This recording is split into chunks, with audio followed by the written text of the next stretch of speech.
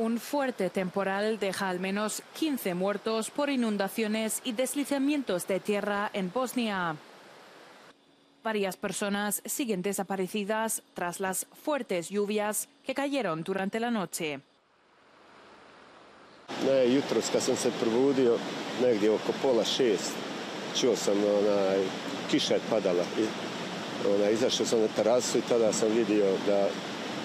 Ono, poplava dole, Sarajska, Kreševska.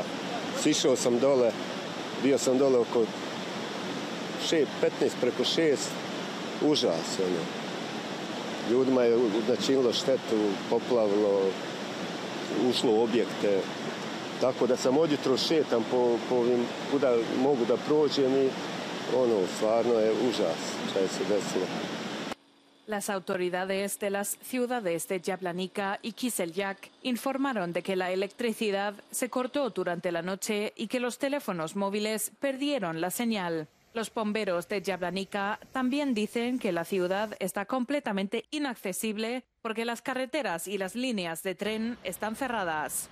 También se han registrado fuertes lluvias y vientos en la vecina Croacia, donde varias carreteras están cerradas y la capital se está preparando para un posible desbordamiento del río Sava.